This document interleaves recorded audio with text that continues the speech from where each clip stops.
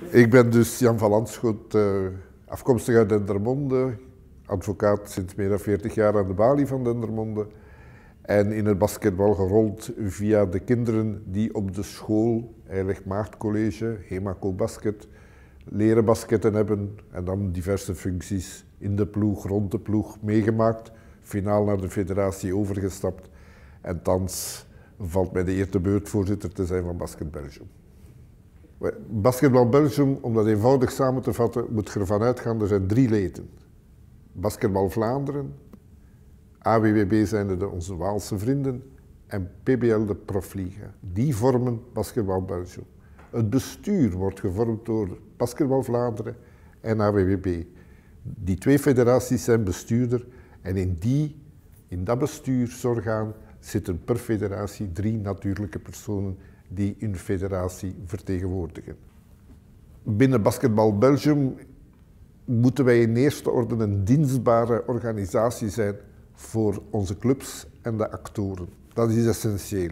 Twee, wij moeten het basketballandschap verenigen, want je hebt een Nederlandse federatie, een Franstalige federatie en je hebt de Profliga. Wij moeten de strategische visie proberen in het basketballandschap ter wijze dat we één community zijn van 100.000 leden en 500.000 potentiële kijkers, toeschouwers geïnteresseerd. Ik denk dat dat bondig samengevat. Maar de voornaamste taken van Basketbal Belgium kunnen worden samengevat in verschillende items. Eén, de nationale ploegen. Het zijn gekend de Cats die naar de Olympische Spelen gaan, de Lions gekwalificeerd voor het Europees kampioenschap en dan de jeugdnationale teams. Dan heb je de competities die zelf georganiseerd worden. TDM1, TDM2, TDW worden georganiseerd door Basketbal Belgium, in de praktijk uitgevoerd door de regionale federaties. En dan heb je de profliga die bij delegatie door Basketbal Belgium de profcompetitie voor aanrekening neemt. En dan heb je nog je teams, clubteams die internationaal spelen en dan heb je uiteraard als nationale organisatie, maakt je deel uit in een internationale context want je behoort als nationale federatie bij de internationale basketfederatie, de UEC, Europese kampioenschappen enzovoort. Maar ik denk dat er twee facetten aan die vraag zijn. Dat is het sportieve, gaan we voor het allerhoogste.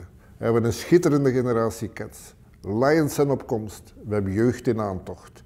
Sportief daar het hoogste, zonder druk te zetten. Maar we bieden kwaliteit via topsportwerking en schitterende teams die gevormd worden, ook qua entourage. Twee, wat mijn persoonlijke ambitie betreft, dat als je stopt, dat je een federatie achterlaat die klaar is voor de toekomst en die functioneert door vrijwilligers, door zijn professionelen, door die intense samenwerking binnen de basketbalfamilie. En als je daar kunt toe eindigen, dan denk ik dat de opdracht geslaagd is.